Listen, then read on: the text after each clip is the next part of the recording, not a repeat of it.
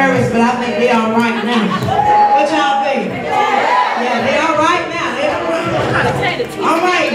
We're getting ready to do something. Um, if you have appetizers, or uh, get ready to serve food, so you get to have a little bit of everything. Y'all ready for that? Yeah. All right. While they're out there getting ready for the next number, which the next number will be a casual number. The next number will be a casual number, but we're going to let you eat first. We just want to do an opening so you can get to kind of see what these grandmothers going to be working with, all right?